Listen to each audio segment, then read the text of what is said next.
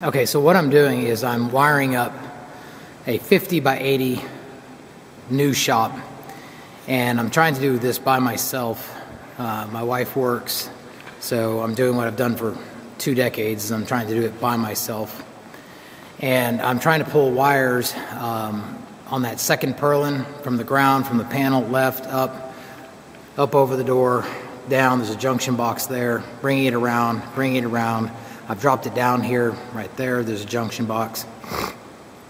And then uh, bringing it over to light switches, tying all the light switches together. Then I'm going to actually go up and feed all the way across to the light fixtures right there.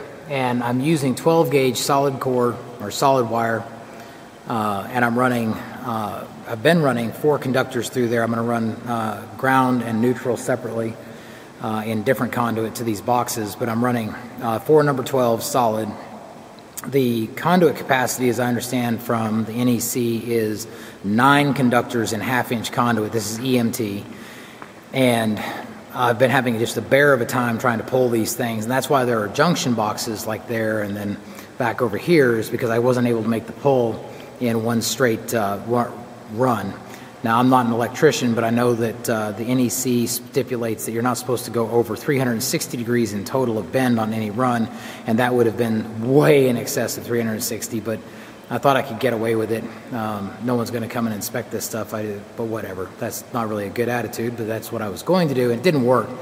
Uh, so I, have tried lube. Lube wasn't working well. So here's what I'm going to do to try to make this easier since I don't have uh, someone to lube the wires for me and I don't want to have to uh, try to push lubricated wires up into the conduit. Sometimes I get it started that way. Um, sometimes I'll come along and I'll give it a little little nudge as I come over and dress the wires coming off of the spools to make sure that they're flowing and curving and feeding in smoothly without damaging the uh, the insulation, the jacket, the uh, the protective layer. Uh, it's got a nylon outer coating. This is THHN that I'm pulling, and uh, I don't want to have to handle greasy uh, you know, slick wires there. Also, I don't want to run back to where I'm actually doing the pull and have greasy, slick hands. So I'm trying to figure out a better way to do this. And taking one of these tubes and then connecting it to some clear tubing and squeezing this and shoving it into the, into the conduit has worked. But trying to grab this and squeeze all the time um, through a small diameter tube is taking entirely too much force and too much time to put the lubricant into the conduit. So the idea here is I'm going to take a grease gun and I'm going to adapt that to the small tubing and I'm going to use a grease gun to shove the lubricant uh, into the conduit. So I have some small diameter tube that I have from a project from years and years ago. One of these is a piece of this is already connected up to my other jug of this um, and I've forced it over the nipple and, and heated it and gotten it to sit on there nicely. I'm going to leave that one connected just in case and I'm actually going to use uh, my second jug here and see how this works. So, uh, I don't know, I'm just going to pick a, yeah, okay, that looks about good, maybe 18 inches, something like that. And then on the grease gun here, um, I got one of the ones that uses, uh, it just, you can pump it with one hand. Uh, it doesn't have the lever on the side, it's actually got more like the pistol style, as it's conveniently called, the pistol grip. So I've already opened this up at the store, made sure that it uh, had the right kind of uh, fitting on it, and what I'm going to do, when this comes out of the package here, it's going to come like this. Okay? And here's the, the straw that's going to come off the front of it, and there's the coupler for the grease zerks if we were actually running grease in there, and we're not going to use uh, any of that. Take this, and what this is, is usually these are set up to also run bulk grease. Uh, the grease in grease tubes is exposed on the uh, on one end. There's usually a metal cap on one end you pop off. The other end is covered with a semi-rubber plastic, soft plastic, just to keep the dust and keep the out and the grease in, um, just in case.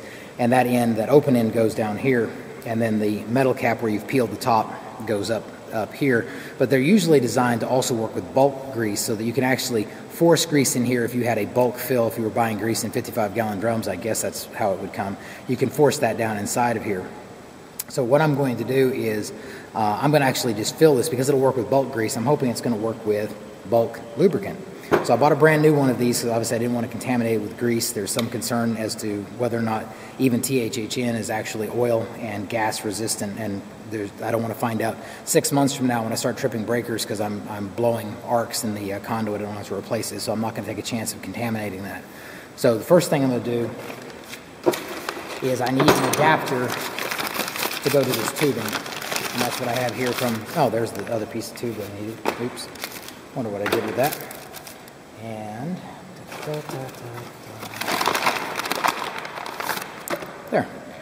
Neat little fitting. And it's just a 1 8 inch uh, male national pipe thread uh, to a, I believe this was 3 16ths, yes, 3 16ths inch hose barb and it fits nicely into the tube, which I forgot that I left in the bag from the store.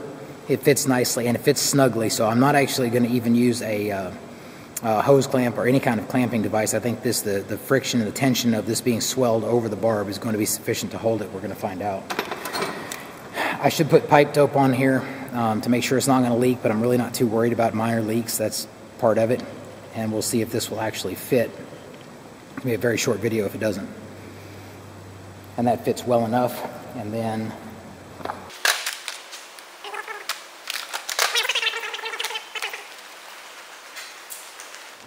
Okay, and that's why I don't ever get anything done because I misplace tools just that fast. I just got that wrench just before I turned the camera on and I've already lost it. That's why I don't ever get anything done. So I'm just going to tighten this up.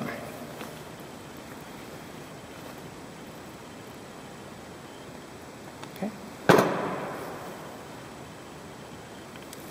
And then I'm just going to see which one of these is, if one of these is longer, I'll use the longer one. Okay, so there, uh, let's use the square end. This one's got a better cut. And I'm just going to force that on there. And that's not going, going to ever come back off. It's not, I don't think we're going to have enough force, hydraulic force pumping this in to make it come off. So now what I want to do is um, put the lubricant into the grease gun. Take this end off, make sure that's tight up top, tightening the top to the, to the body. That seems secure. And undo this one. And just before I break it free, I'm to pull the handle back.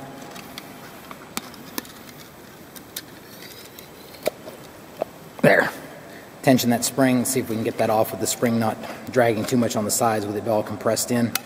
And see it's got a rubber plunger. Hopefully this is to work. No guarantees.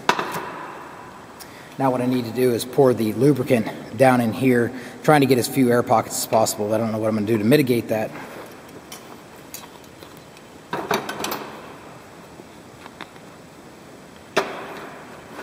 And in case it doesn't work, I'm only going to put about hmm, maybe half of it, and we'll see how it works, see if it works at all.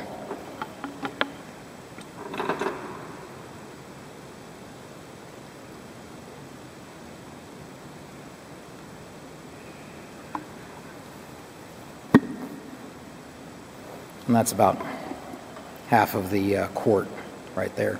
If this works, this also is nice because the uh, gallon of the same stuff is about, I think it was $37, but two quarts costs $28. So it's quite a bit less expensive to buy it in the gallon pails as opposed to buying these quart dispensers, dispensing tubes. I could put more in there. I'm going to. It's got to work, right? Course it works. You saw it on the, you've seen it on the internet.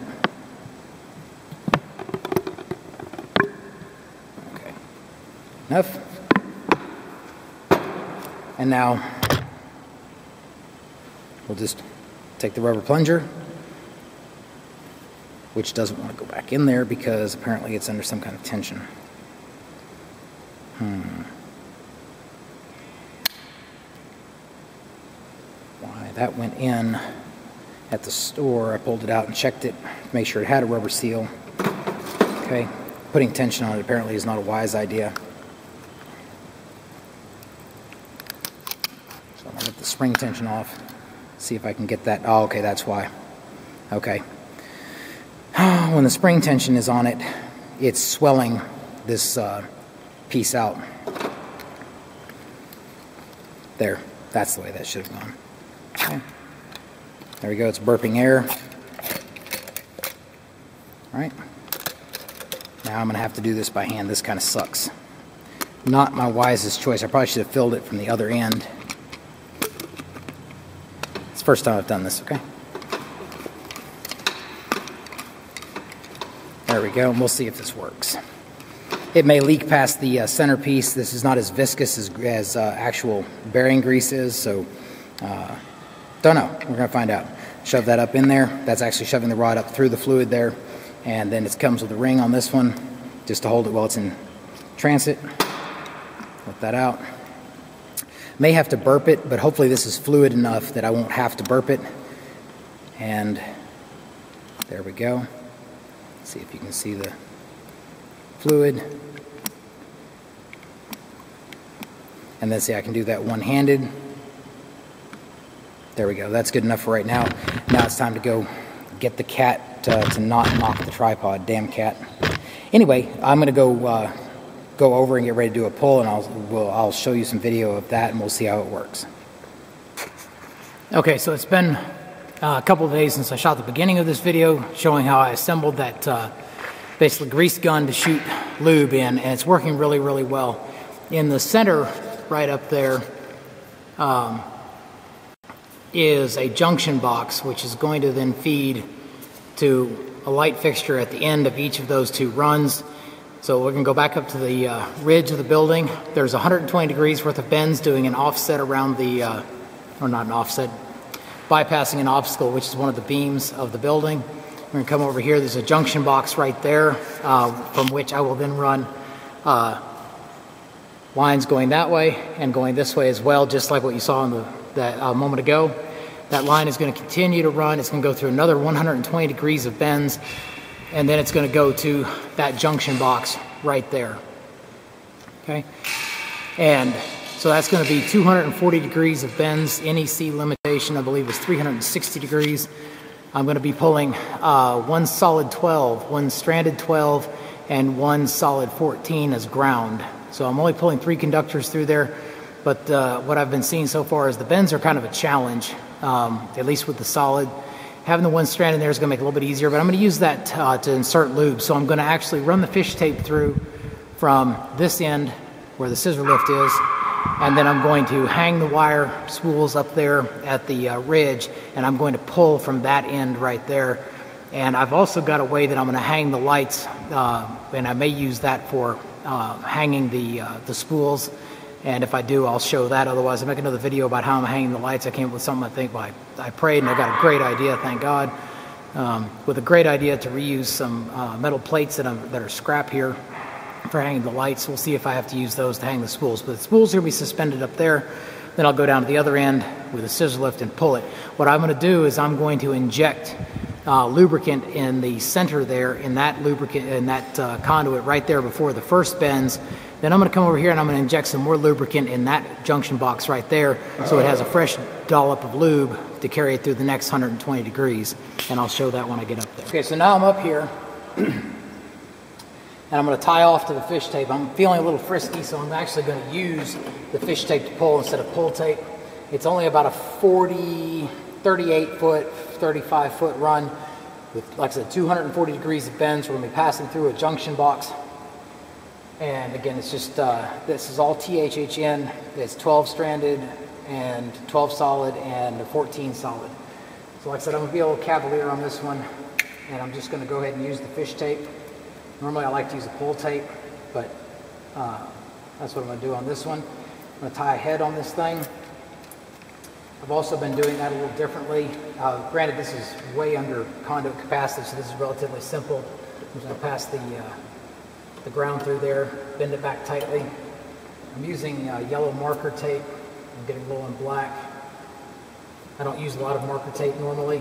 I did for the lighting circuits uh, down there for the switches, the two, the three-way and four-way switches. Hopefully I can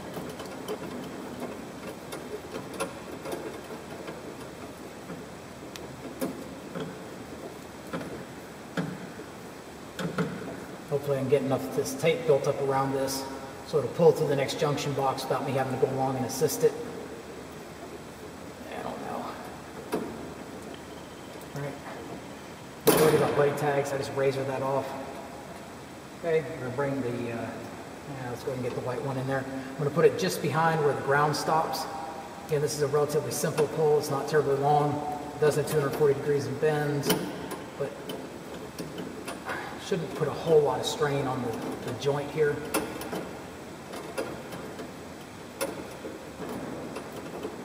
And I'm gonna come in a little bit behind that junction with my hot wire.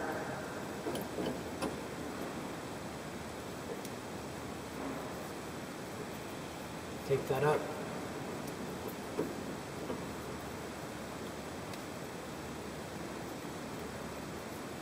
That should be plenty good for what I'm trying to get done here.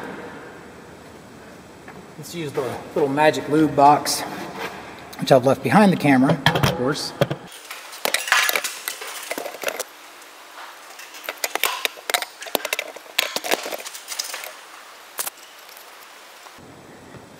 Okay. Just a single hand grease gun as I've showed earlier in the video.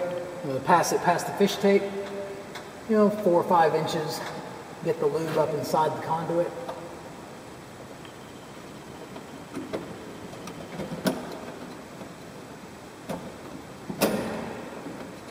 Okay, we should be near, just short of the first bend. One, two, three, four, five, six, eh, give it seven. That ought to be plenty good. And now I can just pull that out. The lube is inside there now. And that's just, that's so much easier to squeeze that down Okay, shove this in, get the head past there, at least get started. There we go. What I'm gonna do is I'm gonna travel back. I'll just fast forward to this section. I'm gonna travel back, get to that junction box. I'm gonna shoot some lube in there too, which is just gonna be immediately before the next 200, uh, sorry, 120 degrees worth of bends. So that will, it'll get some fresh lube over there. So let's start heading that way.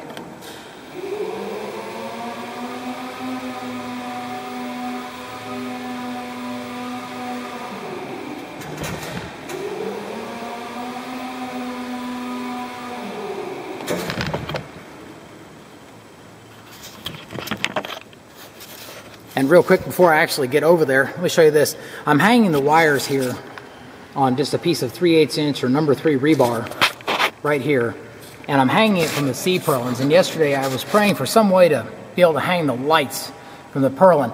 This, this purlin is, is structural here, and I don't want to drill a bunch of holes into it. I don't mind putting a small self-tapper in there just to hold an electrical box, but I'm not going to drill like bolt holes and stuff. And uh, anyway, I wanted to hang the lights from it. So what I did was I took the side plate from these boxes that I'm using. You remove a side plate, and then you can gang them together.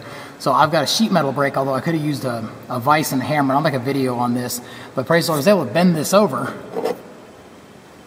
just like that, and hang it inside the recess on that C channel. And then I used uh, aircraft cable and crimp ferrules and I made a hanger there and I came down here just to a loop. The 3 8 inch rebar passes through there obviously and then I'll actually have a clip then it'll clip onto the light which is you can see over there there's a light over there right now it's just tied up with uh, some scrap wire. I'm waiting for Amazon to deliver the hangers that I'll use but in case that is actually pretty doggone cool. So I thank God for that. That's uh, that's the answer I needed to hanging things and also hanging the wires. That's pretty cool. So I'll put this back on the tripod and we'll make that trip now.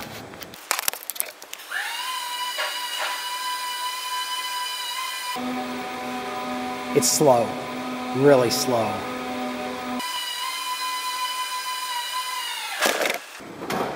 Okay, here we are junction box we're passing through. Take the flexible tube, pass it up inside there. It's a lot easier without all the other wires in the way. One, two, three, four, five, six. That ought to be good enough. Okay, and there's always little bubbles, which this may or may not show up on here, but there, there are always little bubbles that, so you can see that the, that the lubricant is actually flowing through this clear tube. It's pretty handy. Okay, back to the uh, snail's pace move.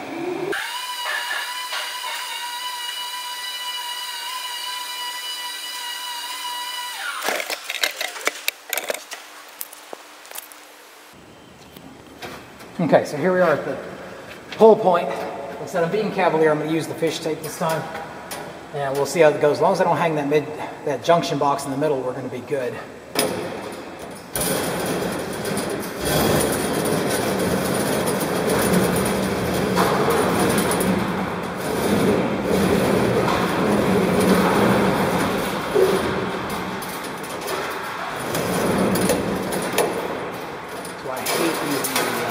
I hit the slick spot in the junction box already.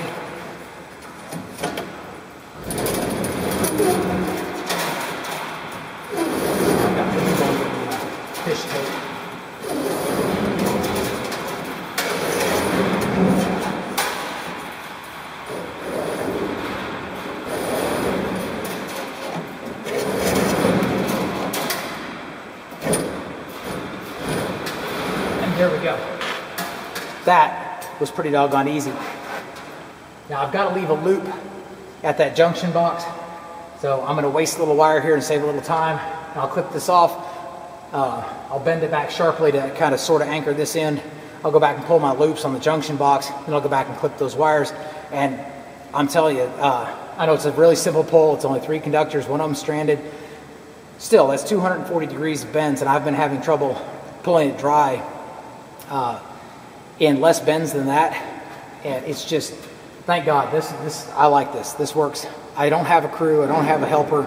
I have to do this stuff myself. So this is, uh, this is working uh, really, really well.